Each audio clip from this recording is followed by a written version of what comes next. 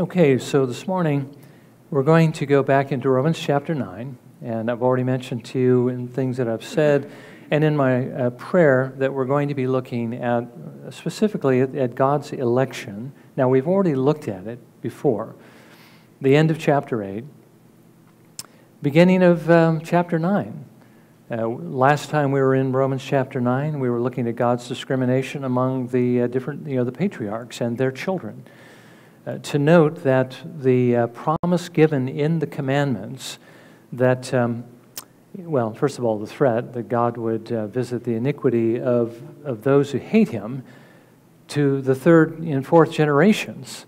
You know, he would withhold his mercy down that particular line, but that he would show mercy to thousands, thousands of generations.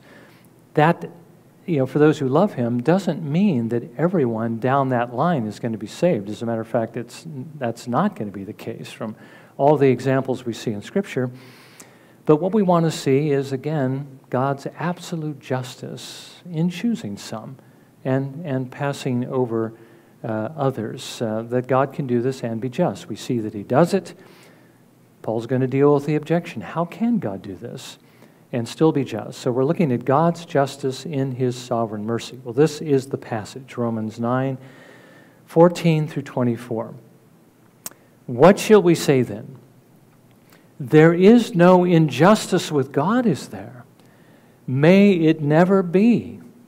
For he says to Moses, I will have mercy on whom I have mercy, and I will have compassion on whom I have compassion. So then, it does not depend on the man who wills or the man who runs, but on God who has mercy. For the scripture says to Pharaoh, For this very purpose I raised you up, to demonstrate my power in you, and that my name might be proclaimed throughout the whole earth. So then, he has mercy on whom he desires, and he hardens whom he desires. You will say to me then, Why does he still find fault? For who resists his will? On the contrary, who are you, O man, who answers back to God?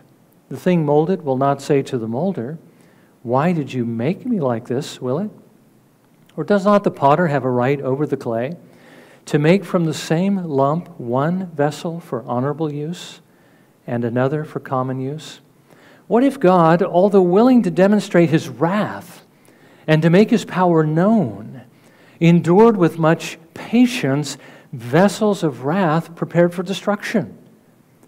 And he did so to make known the riches of his glory upon vessels of mercy, which he prepared beforehand for glory, even us, whom he also called, not from among Jews only, but also from among Gentiles. Now, again, as I've read this, I, I, was thinking, Paul is not necessarily an easy person to understand, and I think we understand that. So we're going to have to kind of work our way through this to see exactly what he is saying. But before we do, we do want to get a little bit of a running start and just see what Paul has been saying up to this point. Now, having explained to, to the Romans, and, and instead of just saying to the Romans, third person, I'm going to say to us, okay, because he's explaining this to us. The Romans, you know, were primarily Gentiles, and, and we're Gentiles, and this applies to us as much as it did to them. But having explained to us the limitless, infinite blessings God has given to us through the Lord Jesus Christ that are ours in Christ, and more specifically in chapter 8, that God's going to work all things together for our good, including making sure that nothing is going to keep us from finally arriving safely into heaven. Okay? Paul has been addressing the question that some might raise, and maybe you'll recognize this from what we saw a couple of weeks ago. What about the Jews? What about the Jews? God made the same promises to them. But most of them failed to receive what God promised. They didn't receive these blessings. And if they didn't, how can we be sure that we will? Well, the way that Paul goes about answering this question is first of all, he affirms his great love for the Jews. Remember that.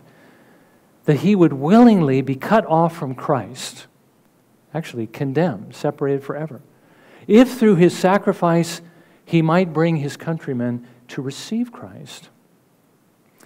Paul, after that, went on to argue that God's promises have not failed. God did not, you know, he didn't renege on these promises. Because, remember in verse 6, he said, They are not all Israel who are descended from Israel. And what he means by that is that the Israel he made the promise to, the chosen ones, are not all descended from Israel or from the man Jacob, who was renamed Israel. God never promised to save all of Jacob's children, nor did he promise to save all of Abraham's or all of Isaac's. He says in verse 8, It is not the children of the flesh who are children of God, but the children of the promise are regarded as descendants. Now, again, to put it in more familiar terms, what he's saying is God's promise applies only to the elect. To those whom Paul said in, in chapter 8, verse 29, those whom he foreknew, those whom he foreloved. Okay, it applied to Isaac, but not to Ishmael or the other children of Abraham. It applied to Jacob, but not to Esau. It applied to some of Jacob's children, but not all. And Paul argues at the end of our text this morning, it applies to some Gentiles as well, and not just to the Jews. Now, from this, Paul considers a possible objection that he has to address, he feels he must address to vindicate God from charges that could be brought or likely were brought against him. And the charge is this Can God really discriminate? I mean, this is discrimination, isn't it?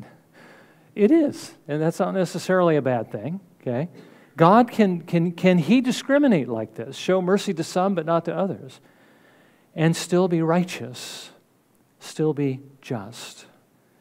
Now, in answering this, Paul is going to quote two Old Testament passages. One passage where God tells Moses that he will show mercy on whom he, has, on whom he wills, okay? And in the second passage, where he commissions Moses to tell Pharaoh specifically that God raised him up in order that he might judge him and show the world his power, demonstrate it to the world in that judgment. Now, Again, it doesn't sound like the typical way that we might answer the question how can God do this and be just? But this is the way Paul will answer the question, and we'll see why.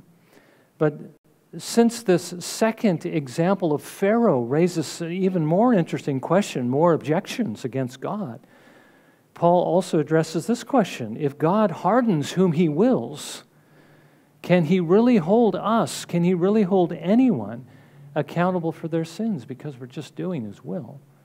Well, again, Paul's going to address that. So, first of all, Paul begins with the first objection. Now, I'm going to try to make this as clear as I can, so if I fail, come and talk to me afterwards and I'll try to explain it. Okay, the first objection is in verse 14. What shall we say then? There is no injustice with God, is there? The answer is, may it never be. Now, in the Greek language, Paul words this question in a way that expects a negative answer. He expects the answer to be no. There is no injustice with God, is there? No. Okay?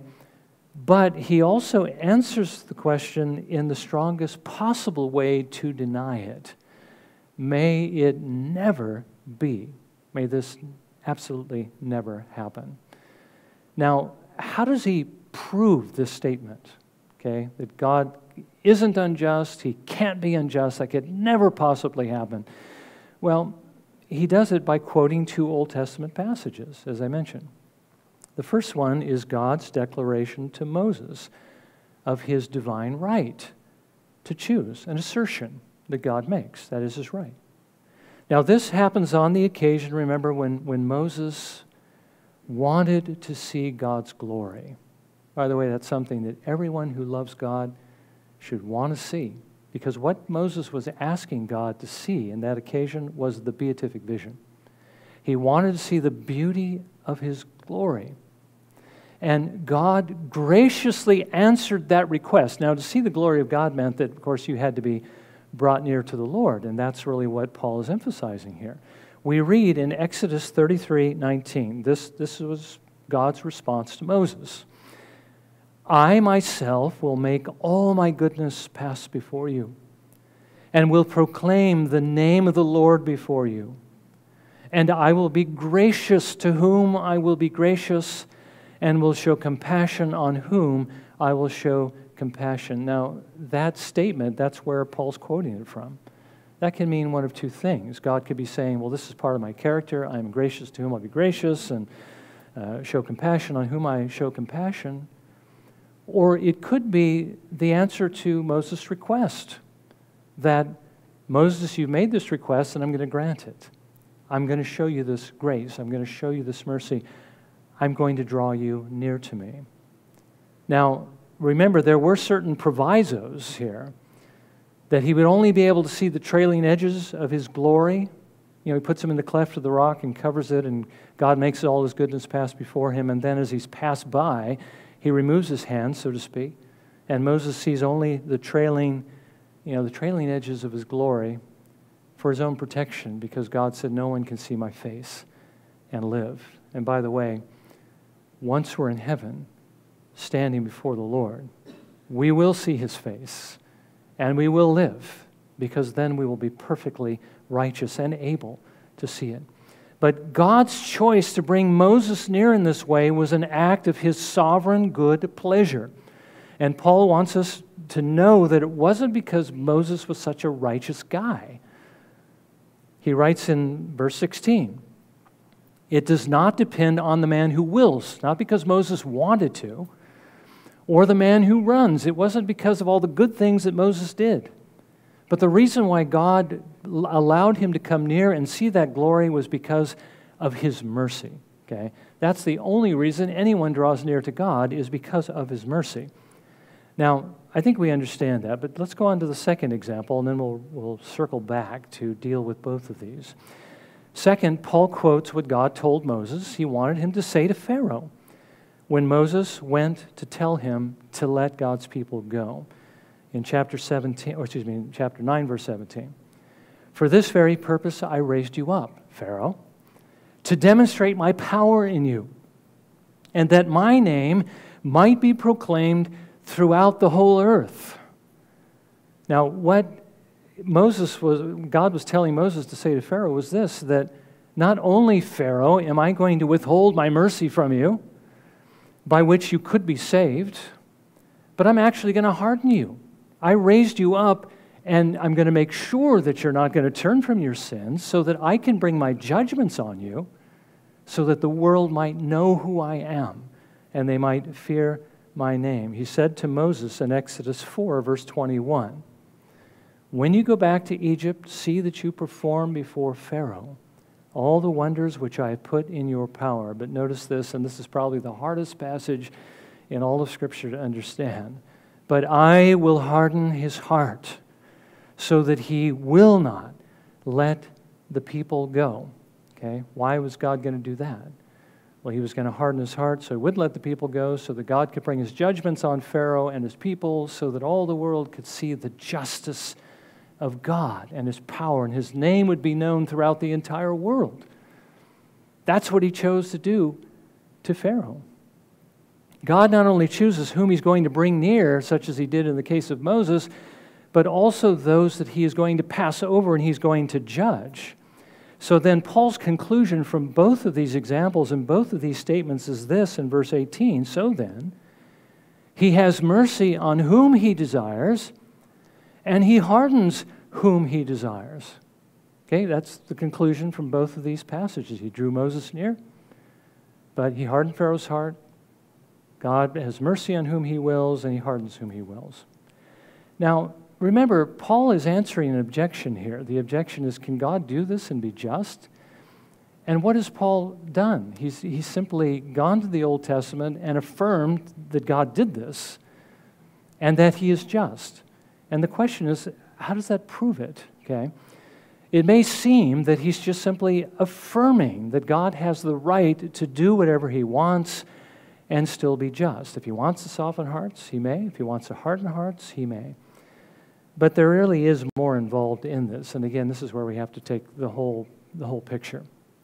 But first of all, we should understand that this touches on an old debate. Okay, it's been in the church for years. And the debate is this is, is something right? Are things right and good because God does them? You know, do his choices, whatever he chooses, become the standard of what's right and then what's contrary to that is wrong? Or does God do something because it's right? Now, some people object to that second idea that God does things because they're right, because it seems to place an authority over God, that there's a standard over him that he has to submit to. Okay, well, we know it can't be that. Okay, uh, there's no authority greater than God.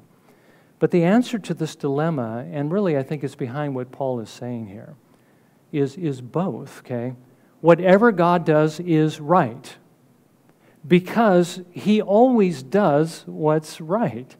God is righteous. He is the standard of righteousness. He cannot do anything but, but what is right. And that is the answer to the question. That is how God can be just because God is always just, and whatever he chooses to do is just. Now, that's kind of the ultimate answer to the question, isn't it?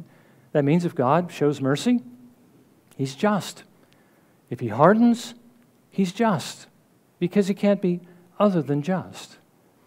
But that's the way Paul answers the question here, but I want us to understand that he's, he's shown us already more about the justice of God, and we need to understand that if we're going to understand his justice. So, to see it more clearly, we need to remember these three things. First of all, what we and all mankind really deserve.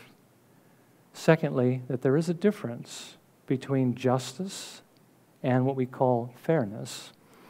And thirdly, that God can harden without being the author of sin. Now, let me just develop each of those really briefly. We do need to remember what Paul said in the first three chapters of this book. All have sinned and fall short of the glory of God. We're all guilty. We all deserve damnation. Now, I mentioned before, we've been looking at this letter for several months, and we've probably forgotten what Paul has said. But the Romans wouldn't have, who had this letter read to them in one sitting, it would have been fresh in their minds. Okay? We need to remind ourselves the state of mankind is in. Okay? We're all guilty. We all deserve judgment, not just a slap on the wrist, not just a few thousand or million years in a purgatory but we deserve everlasting damnation in hell. That's what we deserve when we were conceived because of the sin of Adam. And we've earned it many times over since we've been in this world. We really shouldn't be asking ourselves the question because this is the question most people ask How could God harden Pharaoh's heart? How could God pass over anyone? That's not the question we really should be asking, really. How God can pass over some in His mercy and be just because that is what everybody deserves. You know, that's what justice demands, is that everyone who is guilty be held accountable for that guilt and be justly punished. That's not the question Paul is saying we should be asking. The question we should be asking is how can God show mercy and still be just? Now, that we know the answer to, but we're going to come back to that in, in a few moments. So this, that's the first thing. We need to remember the state we're in. That's what we deserve. Secondly, we need to remember it isn't unjust for God to be unfair. How can God discriminate? We, you know, discrimination is something that is really a bad word in today's culture, but we need to understand that God does discriminate. Sometimes we tend to think of these two, two terms, you know, justice and fairness, as synonymous terms, but they really have quite different definitions. Justice means giving somebody what they deserve, whether it's good or bad, you know, whether it's reward or punishment. But fairness means treating everybody equally, it means treating everybody the same. Now, these are two different questions, right? Does God treat everyone the same? Is God fair? Well, the answer to that is obviously not. Okay? That's what Paul is telling us. God does not treat everybody the same, right? But is it unjust that he doesn't treat everybody the same? Well, the answer, of course, is a resounding no. As a matter of fact, that is, is incorporated into everything that we do and everything that Jesus did and everything that God does. Okay, we, we show this unfairness in our own relationships, don't we? I mean, as husbands, we treat our wives differently than all the other wives in the world, right? We, we make a distinction between them. And wives, you do the same thing for your husbands. Is that unfair? yes, it's unfair. But is it just? Well, of course, it's, it's, it's just. It's not unjust. This is what God commands us to do. Now, as parents, we love and care for our children more than the children of other people. Now, is that fair? No, that's not fair. But is it just? Of course it is. Jesus, you realize Jesus had favorites.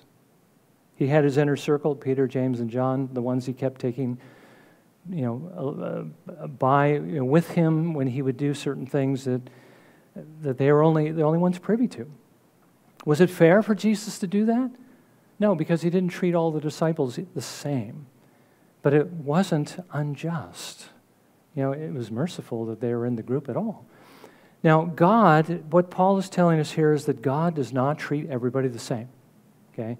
He shows mercy to some, and he leaves others to the consequences of their guilt. It's not fair. Okay? But it's just. It is just. God is just. So we need to understand there's a difference between those two terms. So, you know, everyone has fallen in sin, deserves damnation. And again, uh, justice and fairness are not equal they're not the same terms. The third thing we need to, to bear in mind is God can harden and not be unjust. Because we usually think of that hardening as making him the author of sin, right? Isn't that the problem that arises? God hardened Pharaoh's heart. Does that mean God's injecting sin in his heart? Well, it's one thing for God not to show Pharaoh mercy, but how do we explain the fact that he hardened his heart? Well, again, that's really quite easy once we understand point one that all of us have sinned and the condition that sin brings our hearts into. God did not have to inject evil into Pharaoh's heart to harden it. Okay? All he had to do was to use the evil that was already present in his heart. Now, God generally restrains sin by his Holy Spirit. I mentioned that earlier, remember. This is what we call common grace. That's why when we read Romans chapter 3 and we see the description of mankind, but then we look at the people around us and we say, hey, they don't look like they're that bad. Well, it's because God is restraining sin by His Holy Spirit. It's what we call common grace. He does it to preserve the church. Now, His church, in Pharaoh's day, His church was in Egypt. That was the church, those were His people. And how did God make sure that Pharaoh was not going to destroy His people, but rather take care of them? Well, he did it by restraining the sin in Pharaoh's heart, especially when um, Joseph was alive. Remember how, how things went well for Israel? But then he withdrew some of that restraint when uh, Joseph died and another Pharaoh you know, was raised up that um, uh, didn't know Joseph and he began to treat them harshly. Well, that was part of that removal of that restraint. And, and so, you know, um, more of this evil expresses itself. So, how does God harden Pharaoh's heart in the instance where he doesn't want Pharaoh to let the people go? All he does is withdraw this restraint even further and allow the sin that's in Pharaoh's heart to harden that heart so that he won't let the people go. Now, the question is is that unjust for God to do that? Well, no, it's not unjust because he didn't owe Pharaoh that restraint in the first place, and he wasn't doing it for Pharaoh, he was doing it for his people. God doesn't owe even that mercy to anyone, and he can withdraw it any time that he pleases. Okay, he can have mercy on whom he desires, he can harden whom he desires, and be absolutely righteous and just. Okay, if that doesn't make sense, talk to me afterwards and we'll try to work through that. Okay, but now this this point that Paul brought up about hardening Pharaoh's heart, that conclusion suggests one more objection that could be raised. And the objection is in verse 19. You will say to me then, why does he still find fault? That is with me. For who resists his will? Now, you know, it was said of Jonathan Edwards, okay, that when he engaged, you know, his opponents in theological debate and argument, that he not only demolished all of their arguments, but he also thought of arguments that they hadn't thought of yet. And he demolished those as well. It was called a dusting off of the spot, you know, in which they, they stood. So he destroys them and he dusts off the spot. Well, that's what Paul is doing here to his opponents. He's, again, dealing with all their objections and perhaps even some that they haven't thought of yet. The question is if God exercises this kind of sovereignty over mankind, if God especially hardens whom he desires, then how can he blame anyone for their sin? After all, aren't we just doing what God ordained that we would do? The answer to the question should be obvious. He can blame, yes, he can blame us, even if he passes us over in his mercy, because we're guilty, okay? That's what we need to bear in mind. There's nothing unjust with God leaving the guilty the consequences of their sins, even the full brunt of their sins, even in this life. When people sin, when, when Pharaoh sinned by not letting God's people go, that was because Pharaoh, that's what he wanted to do. God's just simply holding him accountable for the choices that he is making because he has a sinful and wicked heart. God is not making anyone sin. Now, again, Paul uses this very famous analogy of the potter and the clay. And he says, just as the potter has the right to make from the same lump one pot for honorable use, by which perhaps he means to store ointment or perfume, maybe a, a fine pot, you know, or another one for common use, and we can only imagine what those common uses may be, but maybe storing grain or water, you know, things that are more common. So he says God has the right to choose from fallen mankind. Now, notice, we have to assume that this lump of clay that God is working with here, you know, the potter, is fallen mankind, okay? He has the right to make some objects of his mercy, but others the objects of his wrath. And again, the, the thing about the wrath is, is the part that gives us problems he can choose to do that. He can choose to make some the objects of his wrath because they already deserve his wrath. They're not neutral, they're guilty. Okay?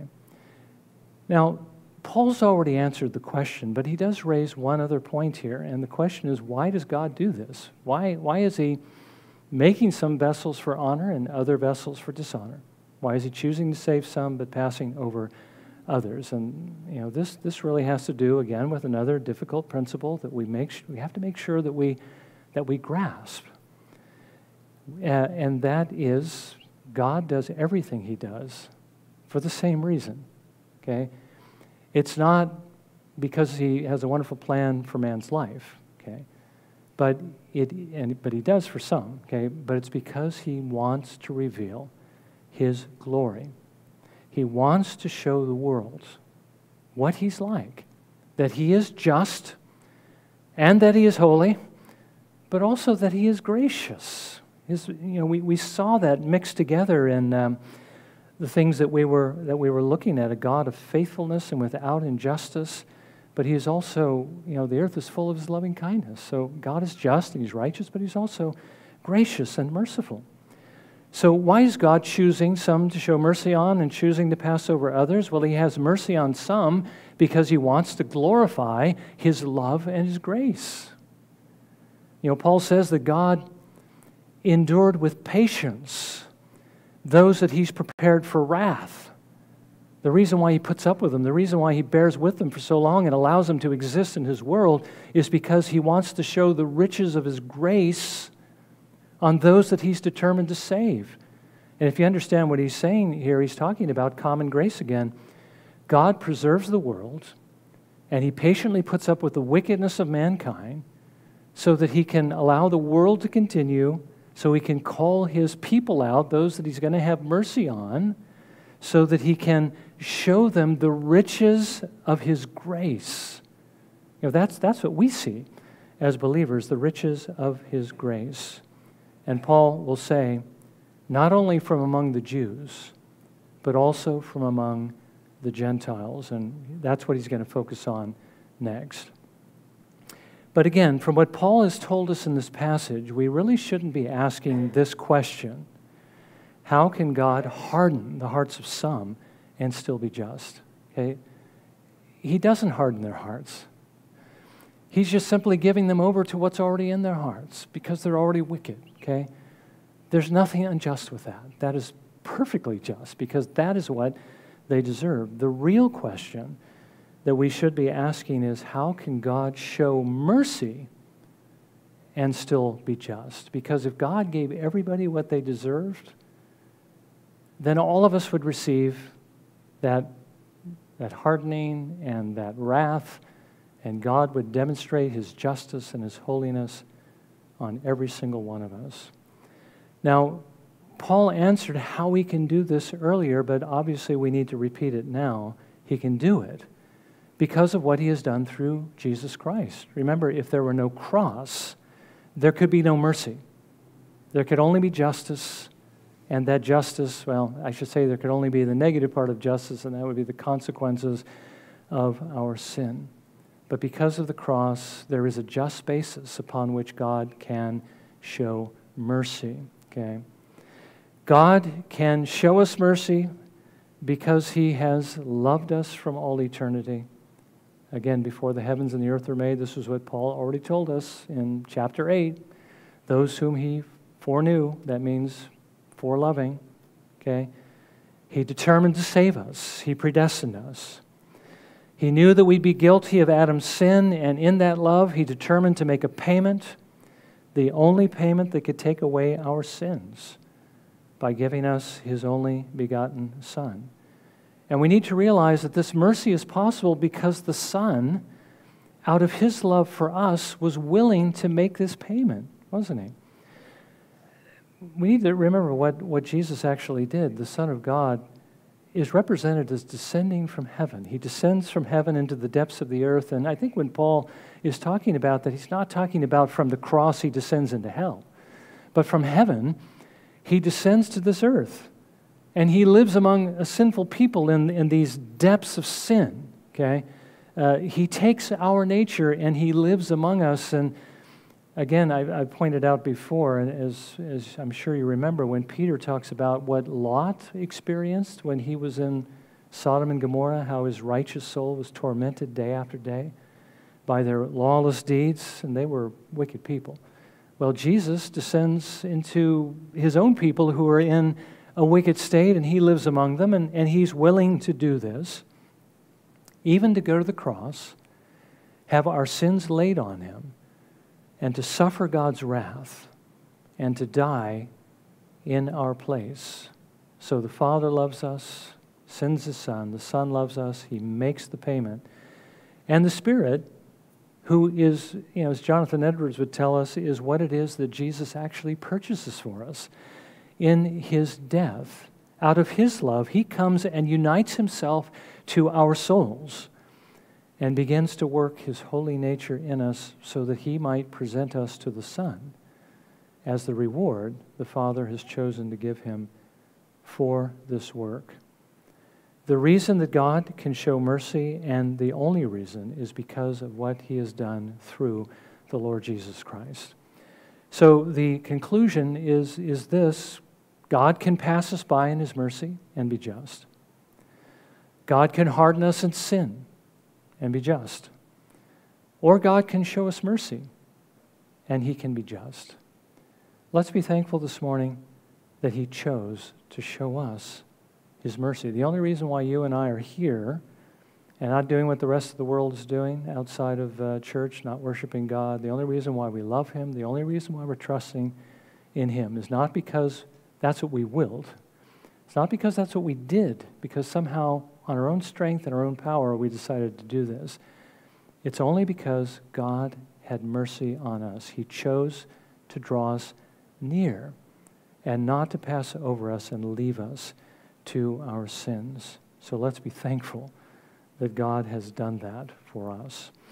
Well, let's, let's think about that as we prepare now to come to the table.